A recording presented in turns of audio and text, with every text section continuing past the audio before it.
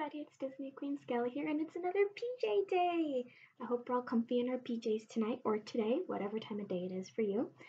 So, uh, as I said yesterday, today we're going to be doing fun facts about the Old Mill, so I hope you enjoy. It was included as an extra in the Disney DVD of Bambi, 1942. This film introduced Disney's technical innovation, the multi-plane multi camera. Hayao Miyazaki has called The Old Mill his favorite Disney film. The Old Mill is represented at Fantasyland at Disneyland Paris by a building rep- resembling a Dutch windmill, which serves drinks and snacks. In his introduction to this animated short on TCM's Treasure from the Disney Vault on October 28, 2015, film historian Leonard Maltin referred to this as a mood piece. Indeed, it is, but one doesn't recall there being a category for such within IMDb's corpus. One of the five Disney shorts to have an 8 to 0 rating on IMDb, the other being the band concert, Mickey's Trailer, Donald's Snow Fight, and Paperman. Hope you guys enjoyed those fun facts on uh, the Old Mill. Um, tomorrow I will be posting a video for when hubby and I go to the 80s After Dark event. Uh, we're Disney bounding as Ariel and Eric. Uh, I just found like green jeans and a purple sweater because it's supposed to be kind of cold tomorrow. Um, he's got like a white V-neck, blue jeans, and he's just gonna tie like a red rope, or, or not rope, but like a red ribbon around his pants. Pretty simple bounds.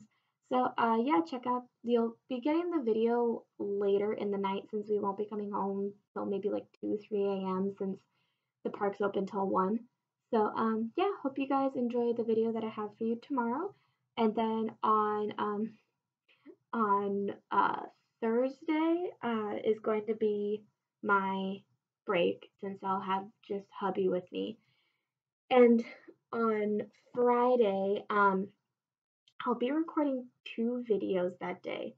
Um, it's not going to be a double feature, and here's why. So I know I promised you guys uh, Snow White for uh, Thursday, but um, you know, it just it, that's my day with with hubby. So uh, I was going to do Mickey Lonesome Ghosts on Friday. However, um, I can't make it a double feature with Snow White and the Seven Dwarfs.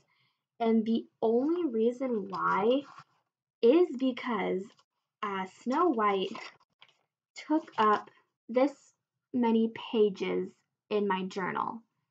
So it was 120 fun facts that I found on IMDb.